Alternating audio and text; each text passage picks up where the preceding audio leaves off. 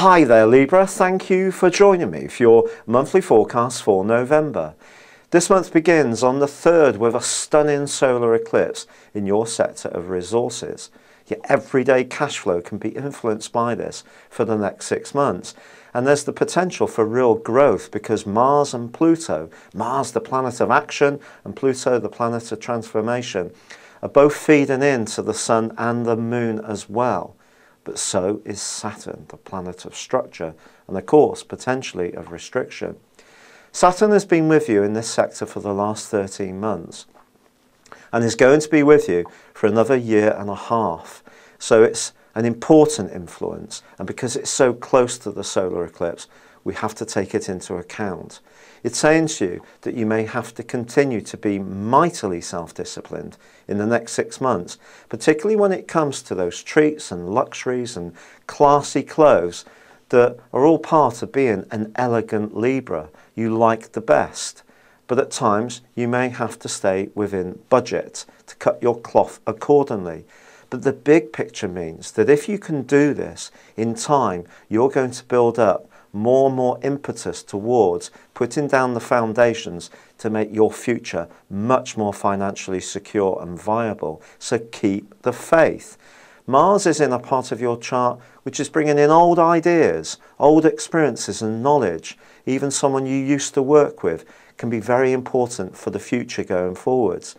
Pluto is there saying that maybe you need to shake up where you live, how you live there, or even family relationships in order to get everything working in the trim that's important.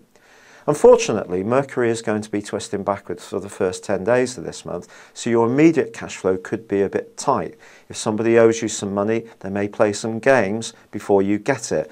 Be persistent. And there's also a full moon on the 17th, when again you may have to really keep at it in the following two weeks to hunt down what is rightly yours. But persistence is the key here. If we keep chipping away, Saturn supports this. It has a dark reputation, but it can be a planet of opportunity.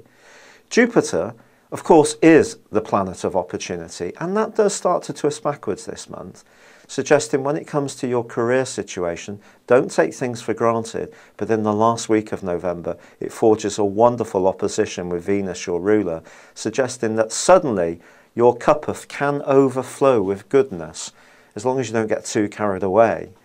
It's also a month when on the 22nd the sun powers its way into the part of your horoscope to do with talk and thought, everyday communications.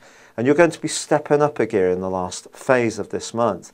Things are going to speed up. And your mental and cerebral qualities are one of your best assets. So deploy them to have the absolute impact. I can't change the fact, unfortunately, that Uranus continues to square with Pluto all of this month and exactly the first two weeks, suggesting that emotionally there does tend to be potentially instability around relationship issues. However, as this month draws to a close, another cluster of planets are forging some wonderful alliances as Mars gets together with Jupiter, Mercury with Jupiter. Mars and Mercury in themselves are connecting brilliantly your power, your energy, your desire to achieve things and get things done can be awesome as November comes to a close. Thank you for joining me. Good luck and goodbye for now.